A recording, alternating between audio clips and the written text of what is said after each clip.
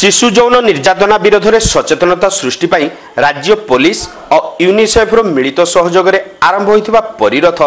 সম্প্রতি বালেশ্বর জেলার বিভিন্ন অঞ্চলের পরিক্রমা করুছি নিমন্তে যৌন নির্যাতনের প্রাণবলি দিয়ে বাড়িকা মান উদ্দেশ্যে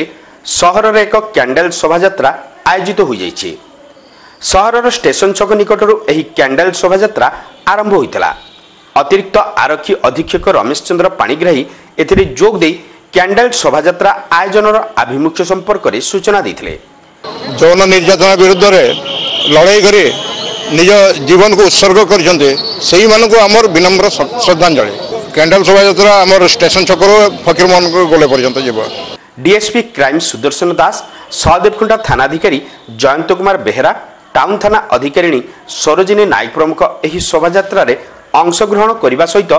ବ୍ୟାପକ ସଚେତନତା ହିଁ ଶିଶୁଙ୍କୁ